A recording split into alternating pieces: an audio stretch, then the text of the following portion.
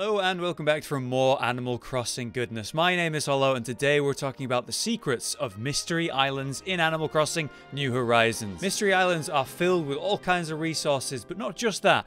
Also, you'll be able to collect new and varied bugs or fish for the museum you otherwise can't get normally. Knowing what you've got access to based on the island you just landed on is key to making the most progress and profit from each and every flight. Most of you will know about this useful map from the hero Ninji, but the hero is back again as of a few days ago with new data mined info. He's provided much more detail and more information for each and every island type with interactive maps. I'll be leaving the link to both his Twitter and of course these maps in the comments and also harass Josh to put them in the description. Today we break down all the information about each island type and how you you can make great profit from each and every one. There's a total of 20 different islands possible using your Nook Miles tickets, and they come in different types. Normal, special, and rare. Normal islands have potential for anything. You could farm tarantulas at night, you could farm fish, you could get really, really good rare catches. But the best part of normal islands is that it's very easy to quickly respawn all of these catches so that you can farm them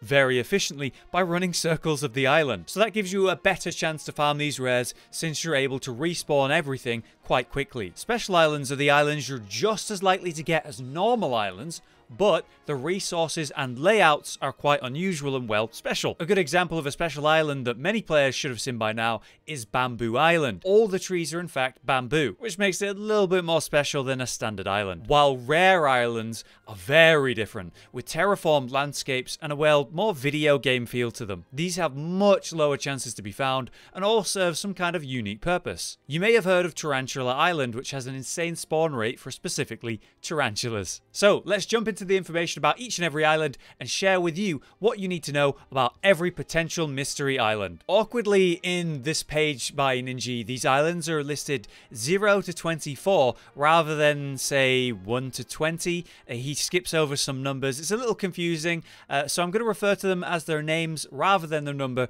as much as possible. So, to start off, there are four normal island types. Each of these have a 9% chance for you to land on them, and all of them have normal fish and bug spawns. The difference between these islands are the ways the water affects spawns and the terrain. Island 0, our first island, has a small waterfall and river leading to a river mouth and a pond to spawn for fish, while Island 1 is basically the same thing without the pond and a slightly larger cliff. Functionally, you can get flowers here, 4 rock spawns, and your native fruit. It's not too exciting, and perhaps the worst of the islands that you can get, but having said that, the resources are always worth collecting, obviously. For our other two normal islands, we have the Spiral Island and the Fidget Spinner Island, as dubbed by the community. Spiral Island was the first one I found, featuring this awkward as hell spiral river and no special resources. Normal bugs and fish, flowers and native fruit, and 4 rock spawns spawns again. I farmed tarantulas the first time I found this island, and man, it sucked. the terrain made it hard to reset spawns, and water bugs are common too. While Fidget Spinner Island, the best named island in the game, has just this fidget spinner looking pond, and again four rocks and regular spawns. It's not terrible for farming tarantulas compared to Spiral Island though, so there's that. Now let's just move on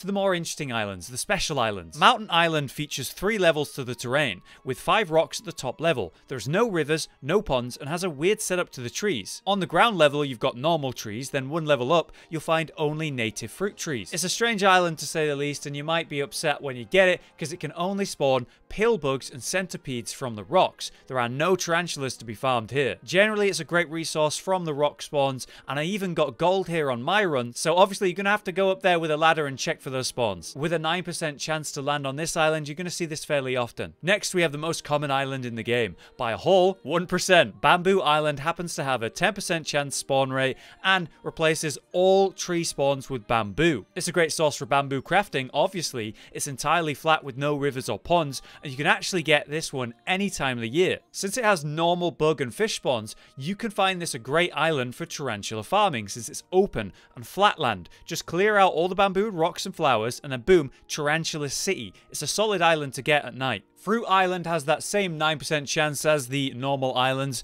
and it's very useful to find, especially early on in your journey. Sister fruits are the only spawns here. With a whopping 19 fruit trees to be found, the fruit here will always be different from your native fruit. However, each time you come back, it's going to be the same fruit. So say your native fruit like me is peaches, and then you come to Fruit Island, you find oranges. Well, every time you come back to Fruit Island, it'll be oranges again. Still, Sister Fruit sells to Timmy and Tommy for 500 bells a pop, so it's actually really good money. I would recommend setting up a nice forest of Sister Fruit back on your main island, and then farm that out regularly to sell it, since that's very good money. Also, there's four rock spawns and normal bug and fish spawns here, so you could potentially farm tarantulas here if you're inclined, but the cliff and river do make it a bit awkward. So, there's your three special islands. Now we're moving on to the good stuff, the rare islands of Animal Crossing. These bad boys all have a 5% or lower chance to be landed on, so don't expect to find these often. And on top of that, many of these have a hard limit of one daily visit, so you can't go there more than once before the day resets. Let's start with one everyone should know about by now,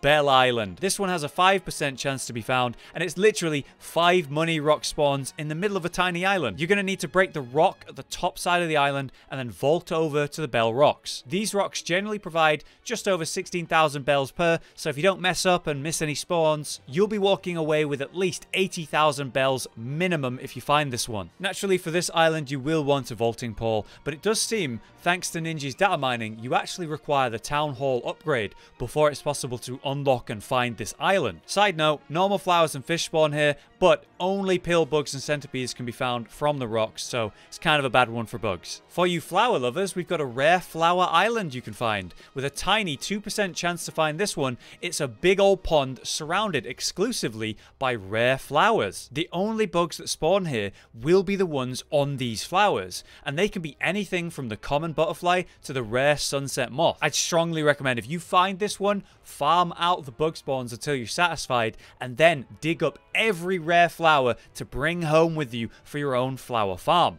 The rarer the flower, the more likely a rare bug spawns on it, which makes for a good consistent money if you set up a bunch of these rare flowers together to farm rare bugs. Interestingly, all the trees here are only hardwood trees and there's four rocks to smack too. It's worth doing because you never know if you get gold. Flower Island is capped at one visit per day. Here's a surprise one. Did you know there's actually two Bell Islands? Money Rock Island 2 has four triangular cliffs in each corner and then in the ground level in the middle is filled with flowers and the money rocks. The seven of them, in fact, so it's even better than the one most people know about. However, it's only a 2% chance to be found rather than the first Bell Island of 5%, so it makes sense that less people know about this. It is listed to have scorpion spawns here, which are good money like tarantulas, so this island is an absolute powerhouse for making bells. I hope I find it one day. Money Rock Island 2 is also capped at one visit per day. We've mentioned tarantulas that much in this video that it's finally time to talk about the true Tarantula Island. The one you probably heard of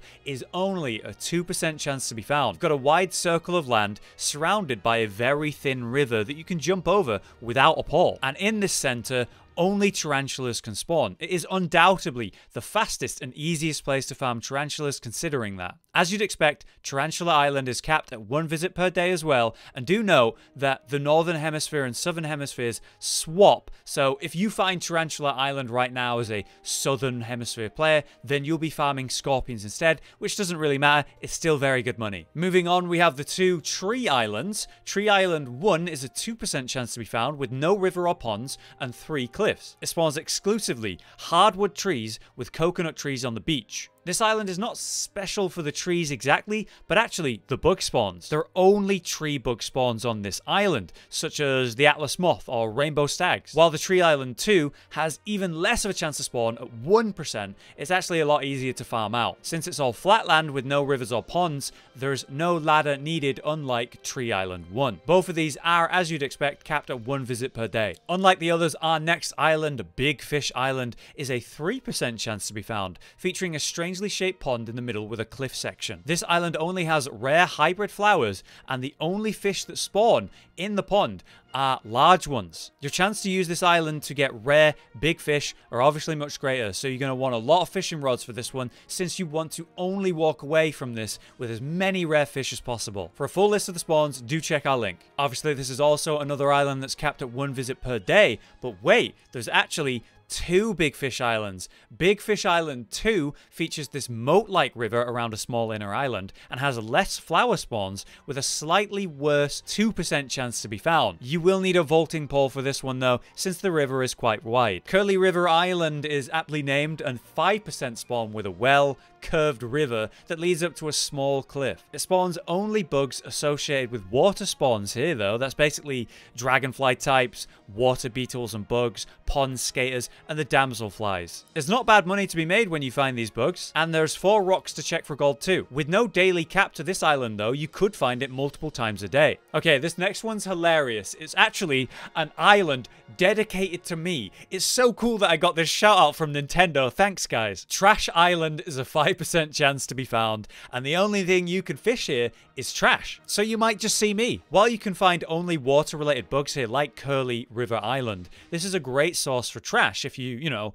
want trash furniture and that. Since there's free cliff areas, you will need a ladder, and again, there is no daily cap on this island either. Next up is the 1% chance to spawn super rare Fins Island. It's literally just a rectangle river around a rectangle island. It's very strange. The island in the middle features rectangle cliffs that just go up and up and up to the point where the tallest one is too high to climb with a ladder. The purpose of this island has nothing to do with this middle island though. It's all about the finned fish that you catch here, which are basically various sharks and suckerfish. To say the least, this strange island is an absolute jackpot for bells. The sharks are rare as hell normally and worth really good money. This island is capped at one visit per day and you require the town hall unlocked before it's possible to find this one. Falls Island is our next 5% chance island with lots of cliffs and waterfalls as the name would suggest. There's actually no daily cap on this one and for a good reason. It sucks. It's literally just normal resource spawns across the board with four rocks to find. There's just nothing to say about this one other than it lives up to its name. And finally, it's now time for our very last island type, Gold Island. It's a 1% chance to find this one with obviously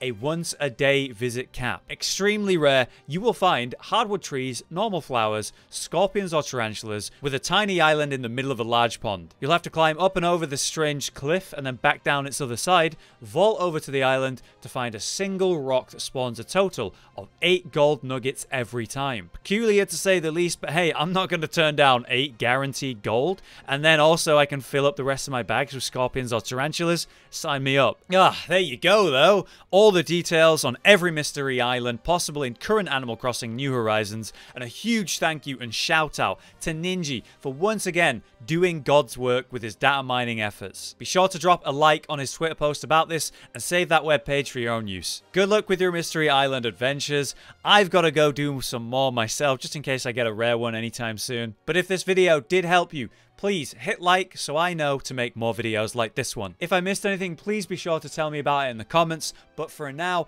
I've been Hollow, you've been you, and I will see you next time.